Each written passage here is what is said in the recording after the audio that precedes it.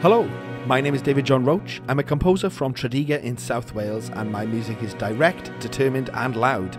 I grew up playing in rock and metal bands. I'm a guitarist too, and my mission today is to tell you that I am writing a brand new electric guitar concerto for Sinfonia Cymru and Britten Sinfonia. Hooray! This new work is going to be premiered by Sean Shibe and Sinfonia Cymru, and fabulously, they'll be taking the work on tour in Wales on the 23rd, 24th, and 25th of February 2024, visiting Aberystwyth for the premiere before swooping across to Criccieth and Cardiff. Sinfonia Cymru are an amazing ensemble. Sean Shibe is an incredible guitarist. The performances are going to be wonderful, make sure you go. It has been amazing and creatively freeing to work with two hugely different but equally unique and committed orchestras.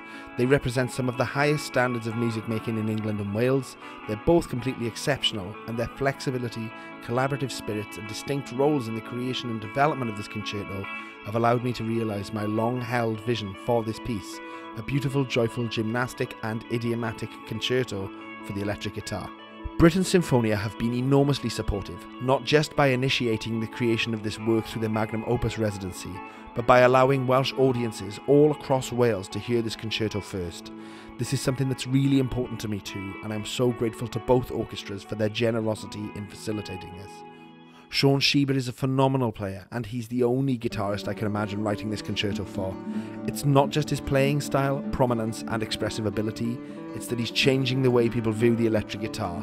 It's a beautiful instrument, and Sean's performance is a testament to its developing important role in modern music. I'm extremely excited to be writing for him. Sean Shibe and Sinfonia Cymru are amazing, and I'm extremely proud to say that they're bringing my new concerto to audiences across Wales. Thank you for listening. Make sure you come and hear it.